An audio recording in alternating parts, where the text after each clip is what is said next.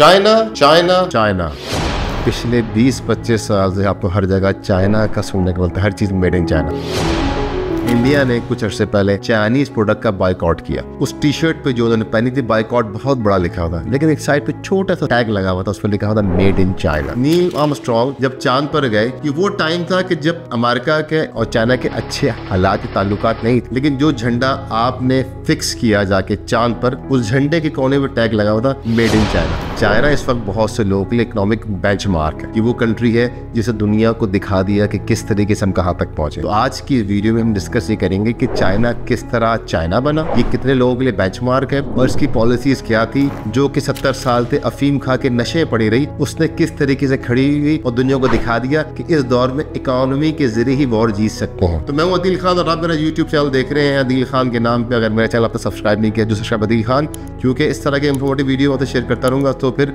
let's get started China basically north east Asia में वाक़ है, और चाइना दुनिया के बड़े ममालिक में शामिल है, जिसकी बहुत हाईली पॉपुलेटेड एरिया ये सेकेंड वर्ल्ड वॉर की बात है कि जापान ने चाइना के बहुत से इलाकों कब्जा कर लिया और चाइना बेसिकली ब्रिटिश कॉलोनी रहा है। यहाँ पे ईस्ट इंडिया ने हकूमत की। ईस्ट इंडिया कंपनी ने यहाँ पे अफीम को लॉन्च किया था और यहाँ की पूरी कौम को अफीम पे लगा दिया। जिसकी वजह पूरी कौम नशे की आदि थी और काम काज कुछ नहीं करते थे ये उस वक्त के निकम्मे तरीन लोग हुआ करते थे। तो किसी के लिए भी चाइना को लेना को बेनिफिशियल था भी नहीं। 1949 में चाइना आज़ाद हुआ। जिस तरीके से सेकेंड वर्ल्ड वॉर में इसका बेनिफिट पाकिस्तान और इंडिया को मिला था, वो सेम बेनिफिट चाइना को मिला। इन हालात को देखते हुए वहाँ पे एक नौजवान मोदी तोंग नाम का खड़ा हुआ और उसने रेड आर्मी बनाई। रेड आर्मी ने चाइना के एक कोने से लेके अगले कोने तक वेपन लेके उस वक्त की करंट गवर्नमेंट का तख्ता उल्टा। और इस तरीके से इन्होंने बुनियाद रखी कम्युनिस्ट पार्टी ऑफ़ चाइना की। और इस तहरीक का नाम रखा गया लॉन्ग मार्च एक बात का बताना बहुत ज़रूरी है लॉन्ग मार्च का वर्ड फ़र्स्ट टाइम हिस्ट्री में इस जगह पे इस्तेमाल हुआ, जो आजकल हमारे यहाँ नॉर्मली किसी भी हुकूमत को डराने, धमकाने के लिए हम इस्तेमाल करते हैं कि आप लोग लॉन्च मार्च कर तो लॉन्ग मार्च का वर्ड फ़र्स्ट टाइम चाइना में मोदी तोंग की इस तहरीक में इस्तेमाल हुआ इस तरीके से चाइना में कम्युनिस्ट पार्टी डेवलप हुई और सोशलिज्म को उन्होंने इम्प्लीमेंट किया। एक बात याद रखेगा मैं सिस्टम का हामी नहीं हूँ। जिस वक्त ये काम हो रहा था, उस वक्त रशिया के अंदर कम्युनिज्म था और यहाँ सोशलिज्म था जो आज तक चाइना में चल रहा है। पोलिटिकली इस सिस्टम में शायद मुझे उनसे बहुत सी बातों पे ग्रजेस भी हों या बहुत सी बातों में इख्तलाफात हों, मेरी अपनी राय। लेकिन हम बात इस वक्त कर रहे हैं चाइना की चाइना बनने में कि किन वजूहत की वजह से ये कौम खड़ी हुई यहाँ पे इस बात का ज़िक्र ना करें या तारीफ़ ना करें तो ज्यादती होगी कि इस पार्टी के रोल इस पार्टी के डिसीज़न डिसीज़न मेकिंग वो बहुत इंपॉर्टेंट रही। कोई भी चेयरमैन आया, लेकिन इस पार्टी की पॉलिसी को चेंज नहीं किया गया।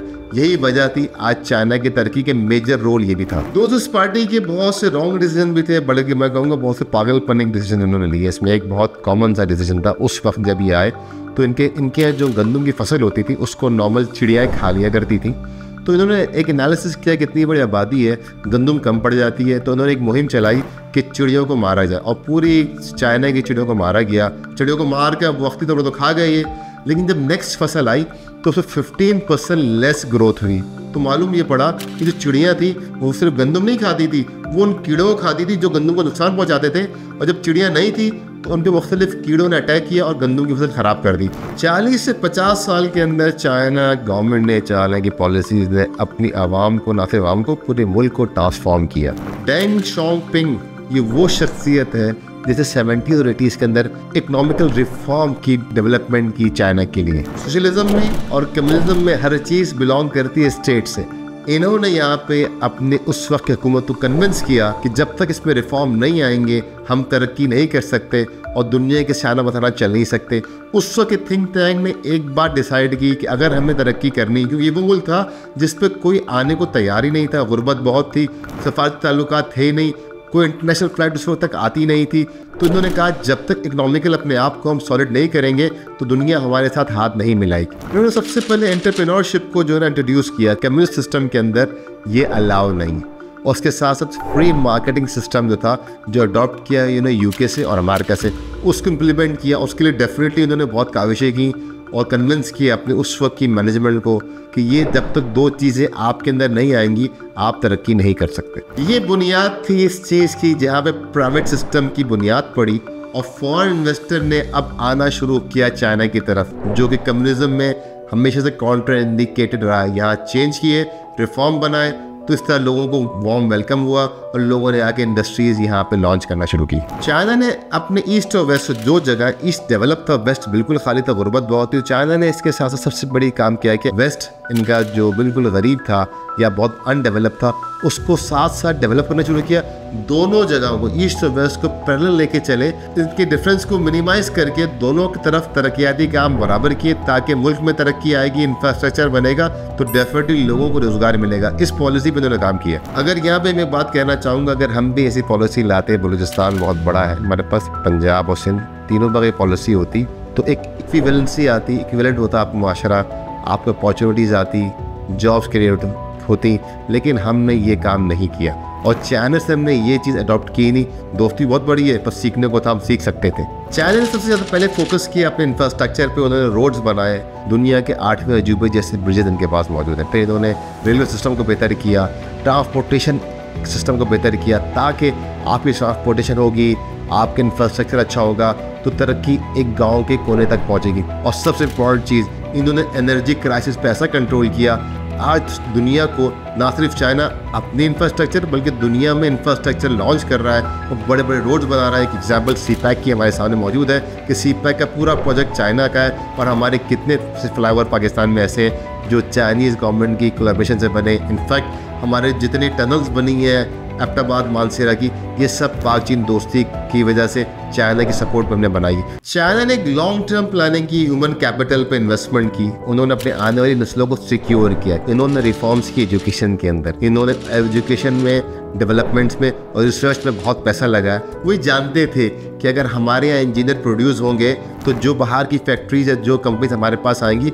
हम अपने इंजीनियर को जॉब्स भी दे सकेंगे। इस पे इन्होंने बड़ा फोकस किया। वो कंट्री जिसका पहले लिटरेसी रेट किसी लेवल पर नहीं था, उसने एकदम रिफॉर्म करके दुनिया को दिखा दिया। तरक्की के लिए एजुकेशन बहुत इंपॉर्टेंट है। इन्होंने अपनी आबादी को सही इस्तेमाल किया। ये जानते थे कि बर्थ रेट हमारा क्या है यंगस्टर बहुत आ रहे हैं बर्थ रेट हमारा बहुत हाई है। तो इन्होंने ये किया कि दुनिया के तमाम शोबों में पीएचडी स्टार्ट किए रिसर्च स्टार्ट की, जिसकी वजह से दुनिया के हर शोबे का पीएचडी आपको आज चाइना में मिलता है। ना सिर्फ़ चाइना में, बल्कि नासा वगैरह की जो मेजर आपकी लीडिंग टीम है, उसमें चाइनीज़ साइंसदान भी मौजूद है। इनकी क्यादत ने विजन रखा कि हम एक्सपोर्ट ओरिएंटेड ग्रोथ बनाएँगे। इसी को लेते हुए आपको याद होगा कि सुई सबसे पहले चाइना में बनती तो चाइनीज़ सुई और कोई उसको कॉपी नहीं कर पाता था। चाइना ने सुई से लेके जहाज़ तक की मैन्युफैक्चरिंग यूनिट लगा दी आज एप्पल हो गया, कितनी बड़ी बड़ी कंपनी है, सब के मैन्युफैक्चरिंग यूनिट चाइना के अंदर है। फिर चाइना ने क्या किया? ना सिर्फ़ अपनी रिक्वायरमेंट इतना डेवलप किया, इतनी मैन्युफैक्चरिंग की कि उसको खुलकर आप बाहर एक्सपोर्ट करना शुरू किया। आप चाइना में हर तरह की क्वालिटी मेंटेन कर सकते हैं। जो क्वालिटी आपको चाहिए, हर मुल्क के लिहाज से प्रोडक्ट डेवलप करते हैं। इस वक्त चाइना 5G टेक्नोलॉजी का लीडर है। ये वो क्वालिटी थी जिसकी वजह से अब दुनिया के तमाम मैन्युफैक्चरर्स का ध्यान चाइना की तरफ़ गया। उन्होंने मैन्युफैक्चरर्स को ऑब्लाइज किया टैक्स फ्री जोन बनाए। ना सिर्फ़ टैक्स फ्री जोन आपको लेबर सस्ती दी। कुछ अर्सा पहले तक हम कहते थे मेड इन जापान जिस इलेक्ट्रॉनिक्स पे लिखा हो, हम कहते थे, यार लाइबिलिटी बहुत अच्छी है। बड़ी मशीन के अंदर आप बात करें तो हम कहते थे जर्मनी से अच्छी टेक्नोलॉजी किसी के पास नहीं। कि दोनों एजाज छीन लिए चाइना ने। इस वक्त आपको सबसे ज़्यादा मशीनरीज मिलती हैं मेड इन चाइना एक बहुत अजीम और शानदार काम इन्होंने क्या किया कि गुर्बत तो ख़त्म करने के लिए स्ट्रेटजीज बनाई। इन्होंने गरीब लोगों को, गरीब जगहों पे लोन्स दिए और छोटी छोटी इंडस्ट्रीज़ लगवाई। गवर्नमेंट उनको को लोन देती थी, जो कि माँ का फ्री लोन हुआ करते थे, और उसके रिटर्न का बहुत लंबा टेन्योर होता था, जिसकी वजह से गवर्नमेंट ने उनको ऑबलाइज किया कि वो अपनी इंडस्ट्री लगाएँ, क्योंकि आपके पास इंटरनेशनल ऑर्डर्स तो आ रहे थे, बाहर से बाहर के भी कंट्री में आ रहे थे तो चाइना गवर्नमेंट ने इतनी अच्छी प्लानिंग के साथ सर्टन परसेंटेज तय की, और इन तमाम लोगों को इंडस्ट्री लगा के अपने गुर्बत को ख़त्म करने में बहुत बड़ी मदद की। दोस्तों, ये दौर टेक्नोलॉजी का है। चाइना ने टेक्नोलॉजी को एडवांस किया और मुसलसल डेवलपमेंट रिसर्च में लगे रहे।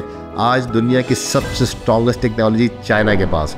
टेलीकम्युनिकेशन में लीड किया आर्टिफिशियल इंटेलिजेंस के अंदर भी लीड किया और नई नई टेक्नोलॉजीज़ क्रिएट की। रिन्यूएबल ग्रीन एनर्जी पे फोकस किया और उसके बाद बायो टेक्नोलॉजी को इन्हांस किया। एक ही डिपार्टमेंट को नहीं देखा, इसके बाद ध्यान दिया उनका फार्मास्यूटिकल्स के ऊपर। फार्मास्यूटिकल्स में इस वक्त चाइना रॉ मटेरियल में लीडिंग कंट्री है। नंबर वन सप्लायर है। रॉ मटेरियल्स का दुनिया भर में। रिसर्च एंड डेवलपमेंट में ना सिर्फ़ बड़े स्पैन पे, छोटी इंडस्ट्रीज़ को भी मोबालाइज़ किया कि वो भी रिसर्च एंड डेवलपमेंट में बाकायदा काम करें, ताकि आपको इनोवेटिव आइडिया और नई नई क्रिएशन मिले ताकि आप हमेशा मॉडिफाई हो सकें। चाइना का सबसे बड़ा कारनामा अर्बनाइजेशन था, जो उन्होंने किया। बड़े बड़े शहर आबाद किए, छोटे गाँव को कन्वर्ट किया शहरों पे, ताकि वहाँ के लोगों के लिए अपॉर्चुनिटीज़ उन्हीं के आसपास करीब क्रिएट हो। इसका फ़ायदा ये हुआ कि तमाम लोगों को लिविंग स्टैंडर्ड्स और जॉब अपॉर्चुनिटीज़ एक साथ मिलने लगी, जिसकी वजह से चाइना के हर कोने में तरक्की पहुँच गई और जो भी आपका एक्सपोर्टर इम्पोर्टर विज़िट करता था कंट्री में, जब वो ट्रेवल करता था, वो कुछ ना कुछ इकोनॉमिकल कंडीशन में इन्वेस्ट करता था मुल्क के अंदर कॉस्ट लगती थी। चाइना को एक और बेनिफिट मिला। तो बहुत ही अच्छी प्लानिंग थी चाइना की। ये सब फैक्टर अलग अलग इम्प्लीमेंट नहीं हुए। ये पूरा एक टीम वर्क था, पूरा एक बंच था जिसको साथ लेके यकसा किया। जिसकी वजह से आज चाइना चाइना बना। दुनिया में सबसे ज़्यादा यंगस्टर जिनके पास पैसा वो चाइनीज़ लोग हैं। कनाडा ने अपनी state policy just because of Chinese student change की। चाइना का एक बहुत अहम फैक्टर जो शायद आपने कभी सोचा ना हो, चाइना ने कोई वॉर में अपनी टांग नहीं अड़ा। यहाँ एक मैं ज़िक्र करूँगा एक मूवी हॉलीवुड की आर्ट ऑफ़ वॉर जिसमें जो विलन सेनेटर खातून है, वो एंड में एक तारीख को जुमला कहती हैं। वो कहती हैं कि चाइना हमें इकोनॉमिकली अंदर से दीमक की तरह खा जाएगा। अगर हमें तरक्की करनी है तो चाइना की मिसाल एक हमारे लिए बैच है। लेकिन एक बात याद रखेगा चाइना में स्टेबिलिटी ऑफ़ पॉलिटिक्स बहुत इंपॉर्टेंट है। उन्होंने एक लॉन्ग मार्च किया और मुल्क को तब्दील कर दिया। हम तो हर दो, ढाई साल के बाद लॉन्ग मार्च में निकलते हैं, जिस पे हमारा बहुत नुकसान होता है। अगर हमें चाइना जैसी तरक्की करनी है तो ज़िंदगी में एक लॉन्ग मार्च करना है और पॉलिसीज़ अगले सौ साल के लिए बनानी है। उम्मीद है कि आपको मेरा ये व्लॉग अच्छा लगा होगा। अगर आप कोई कमेंट करना चाहें तो मशवरा देना चाहें, दे सकते हैं। अगर मेरा चैनल आपने सब्सक्राइब नहीं किया तो सब्सक्राइब अदील खान, क्योंकि मैं इस तरह की इन्फॉर्मेटिव वीडियो आपसे शेयर करता रहूँगा।